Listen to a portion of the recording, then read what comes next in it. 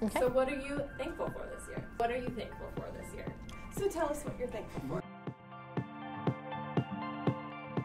I am really thankful for This year, I am thankful for. Well, I'm thankful for. Definitely thankful for. I am grateful for. I'm thankful for. Super thankful for. I'm thankful for. I'm thankful for. Thankful for.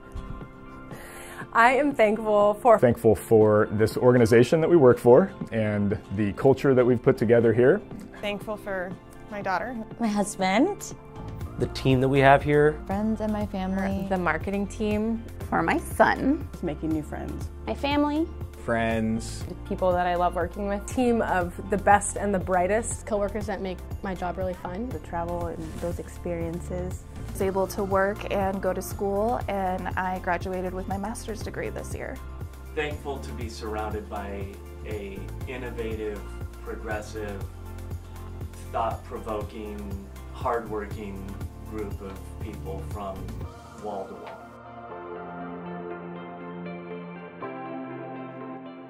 The snow, and I'm thankful for the Oregon Ducks, the trees outside, and even those leaves that fall from time to time, uh, ham sandwiches, sometimes turkey sandwiches, grapes, beer, a good IPA, sweatshirts that say Portland on them.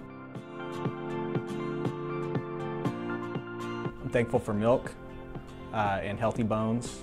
I'm also really thankful for Netflix. Thankful for stuffing. I'm thankful for The Bachelor in some ways. Um, honestly, I'm thankful that I found a company where I feel like I'm coming home in the morning when I get here.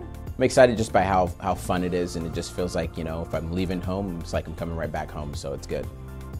For Evan and, and Tim and everybody here, that's been really, really supportive and, uh, and made it an extremely welcoming um, environment for me to kind of join the family here. I I am thankful for a company that when I come to work, it feels like family. It's a little bit like Olive Garden that way.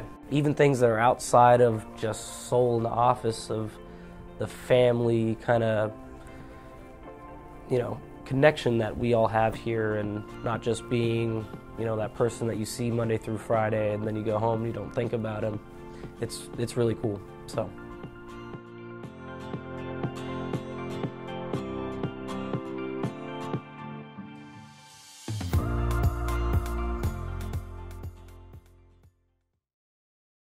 Giant blue workout balls, all sorts of things that make funny noises, I found. And I like music, certain types of music more than others, watching football on television and sometimes in person, although sometimes the noise gets to you when you're in person. So television, I found, can be a little bit easier and a, a better experience all in all.